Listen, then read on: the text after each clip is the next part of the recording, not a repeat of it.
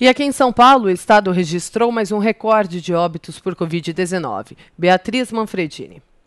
Em meio às medidas de flexibilização, o estado de São Paulo registrou um novo recorde de mortes por coronavírus nesta quarta-feira. Foram 389 óbitos nas últimas 24 horas, para um total de 11.521. O número de novos casos, no entanto, ficou abaixo do esperado foram 1.232 novas confirmações, chegando a mais de 191 mil ao todo. O secretário estadual da Saúde, José Henrique German, diz que os números estão dentro do esperado pelo governo. No caso de óbitos, não.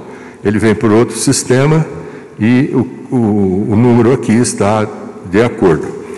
É, e tivemos dentro do, daquilo que nós esperamos do ponto de vista dos números. A secretária de Desenvolvimento Econômico disse que a previsão é de que o Estado registre de 15 a 18 mil mortes no total até o fim deste mês.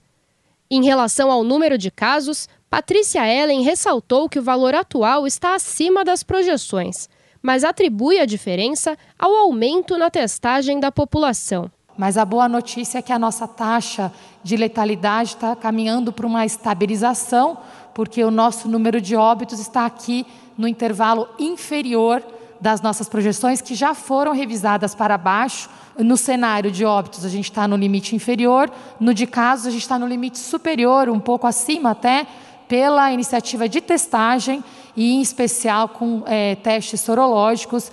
No início da semana, o governo anunciou que pela primeira vez houve um número menor de novas mortes semanais por coronavírus em comparação com a semana anterior.